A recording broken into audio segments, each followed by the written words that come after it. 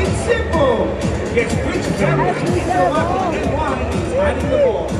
Look at those beautiful custom 5950 New Era Yankee caps. Now available at the New Era Yankee Stadium flagship store.